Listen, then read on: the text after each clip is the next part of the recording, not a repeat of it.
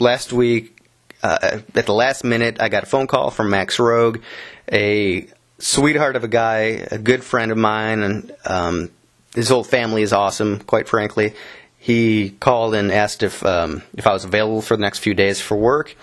Uh, which I made time for it because it was uh, working on wrapping out a TV show on the Culver Studios lot, which was this place I've been wanting to go to for the longest time, and it's uh, it's this lot opened in 1918 by Thomas Ince, uh, a guy that was well likely killed by William Randolph Hearst, whose ghost haunts the Culver Studios now. Uh, I'm sure there's a handful of other ghost stories. If you have any, let me know.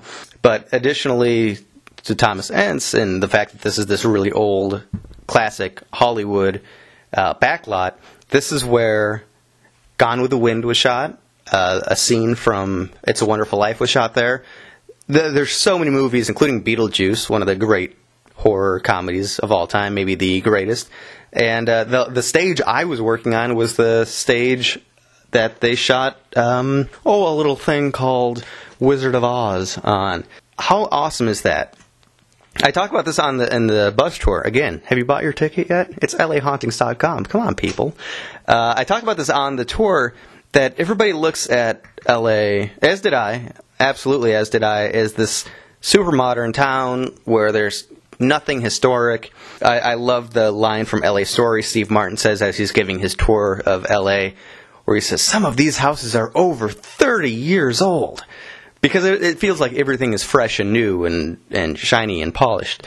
But reality, there's a lot from yesteryear here. Obviously, we're not talking about England, where, where there's castles dating back to the 1200s, but still, 1918, not too shabby, Los Angeles.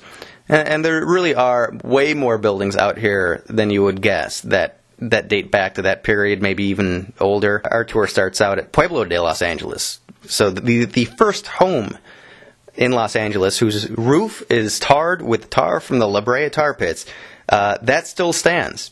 And, and that's a place that we go on our tour. But that whole area is amazingly historic, and there's some of the first buildings ever built in California.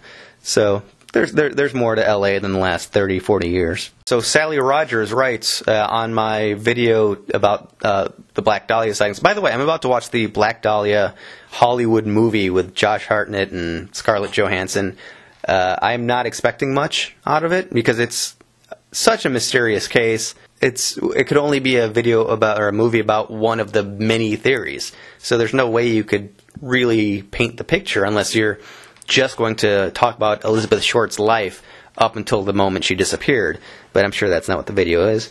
It's got her slashed face on the cover, so I'm sure it goes through the murder and then the uh, the botched um, investigation that followed. But anyway, so Sally Rogers writes that well, this is weird uh, that she thinks uh, Elizabeth Short is now an Onyro, O N Y R O. Onyro is a woman that was murdered horribly by someone she trusted. I actually did research this uh, a bit before. It goes into being a, well, obviously, clearly Asian influenced uh, ghost, someone that is back and is angry. Uh, I don't know why this uh, Miss Sally is making that leap. Um, it's it's interesting, you know. She says this is a murder horribly, which check mark by someone she trusted. Uh, I mean, maybe we don't really know. I mean, everybody that she trusted was really, really grilled, and it seems to be more of a random encounter. Um, someone that she knew not very well, I think, probably had the best chance.